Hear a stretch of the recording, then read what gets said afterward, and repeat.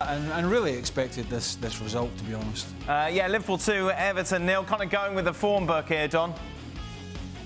Yeah, I, I, never really had the impression that Everton could go to Liverpool, the firepower they've got, and turn them over. Um, you know, I think Sean Dyche has got a point on the Konate one. That should have been a second yellow and a red. Um, but once Liverpool got the goal and, and Salah got his first, who's going right under the radar this season, by the way, how many goals and assists he's got, he's absolutely flying. And the second one was was game over. So, yeah, Liverpool are hitting their straps. They would have been unbeaten by the, the Tottenham fluke result a couple of weeks ago. And I think now, I think you're looking at Liverpool side with the firepower that they've got. I think they could be serious contenders to Man City this season. I mean, they're absolutely flying. Salah's just been an unbelievable player since he's gone to Liverpool.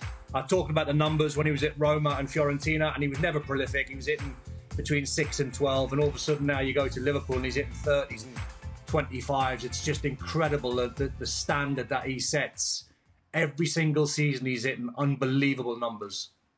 But uh, there is much, much, much bigger tests for Liverpool. I, I agree, and I think they've got a, a, real chance of, of being in the being in the mix. There's still a lot of questions. I, I think from the midfield to the back line, whether they're going to go all the way like they have done before. But I, I'm sorry to say this, and Stevie's not here to defend the Merseyside derby, but it is awful viewing these days and has been for quite some time. Now, I know there's the odd exception and there's been a few draws along the line, but we're at a stage where it's Everton have beaten Liverpool once since 2010. And at Anfield, it's been once in 24 years.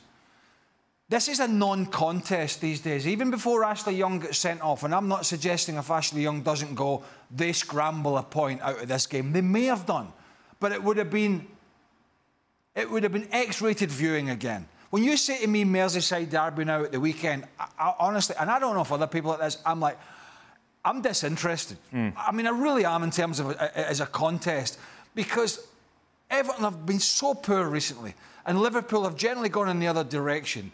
That these games are just one-way traffic, and maybe every now and again Everton get a breakaway. It, it's a shame that it's gone that way. But, but that's the way it is. The stats, the facts, the results will tell you that. And we all know Everton's predicament and how poor they've been. But it is making this derby into something that's not quite unwatchable, mm. but it's, it's pretty close to it, to be honest.